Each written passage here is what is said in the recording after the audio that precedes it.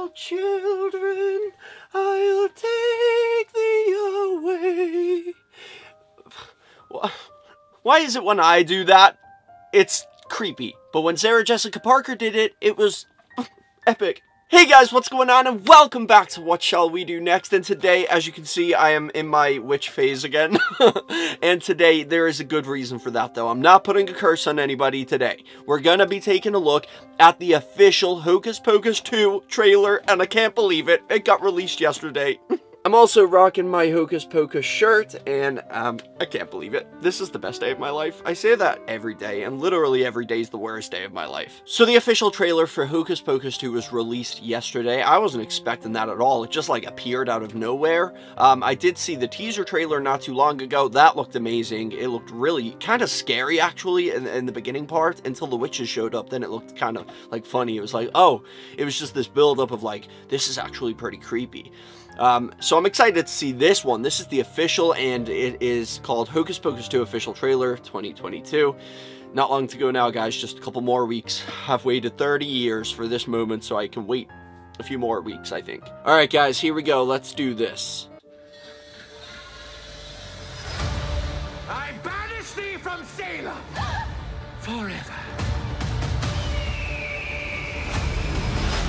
They were right to fear thee.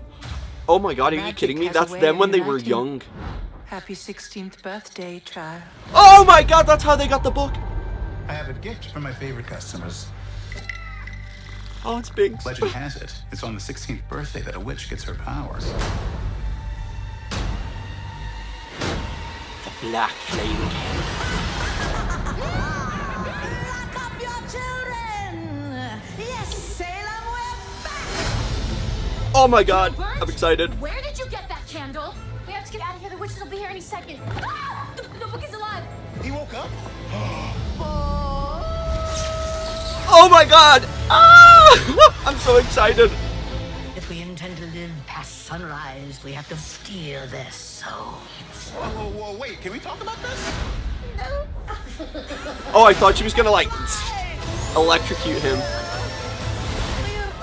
Is she? Oh my god, the vacuum cleaner, but it's like modern. Not to freak out. The vengeful maniac obsessed with getting revenge on Salem. Sounds very bad for Salem. Boy, I'll say. We should get some salt. Why? So we taste better when they eat us?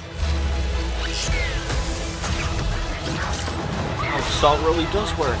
Whoa, that looked amazing.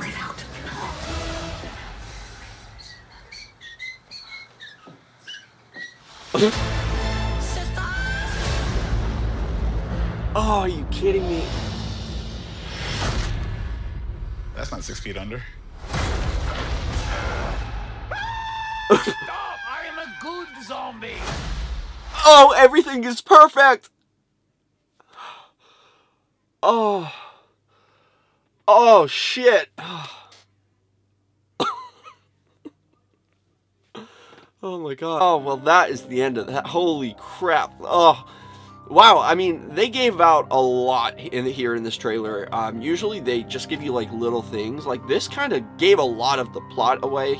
Um, I mean, I, I'm assuming it's going to be very similar to the first one anyway. It's going to be like a group of kids accidentally summon the witches and then get chased around all through the night.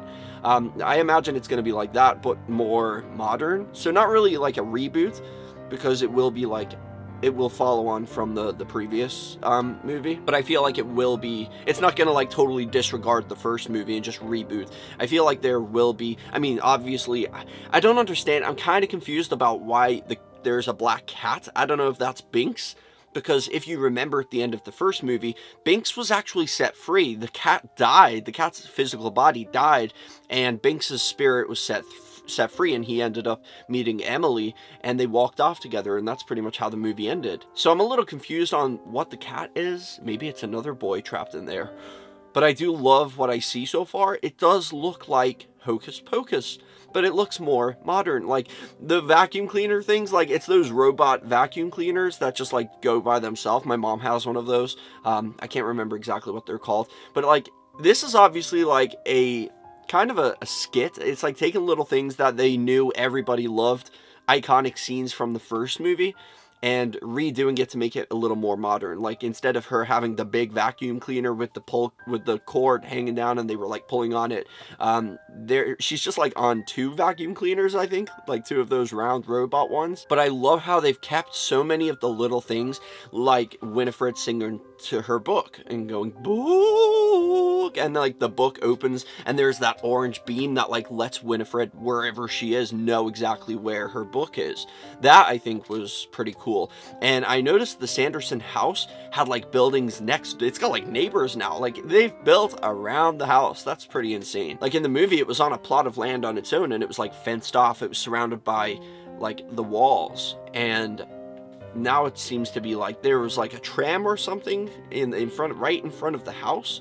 So i don't know. I, I think it's just going to be like a more modernized version. It's going to be like real into the future. Not exactly the same as the first movie but i feel like they're going to try to modernize the little things that everybody loved, but they're going to try and keep everything in there. The scenes where they were flying just then looked amazing. Like, there was that one scene when she's like, we're to run amok, and Sarah's like, amok, amok, amok, and there she's like swaying, but the city below looked insane. And then that shot where Winifred like flew down and like, like an eagle catching its prey, swooped up one of the girls and just flew off with her. That looked really amazing. Oh man, am I excited to see this. But guys, it's literally a couple more weeks and then this is getting released on Disney+. Plus. Let me know in the comment section section. Are you going to watch it? Are you excited? Smash a like on the video, and I'll see you right back here in the next one. Peace out and chase your dreams.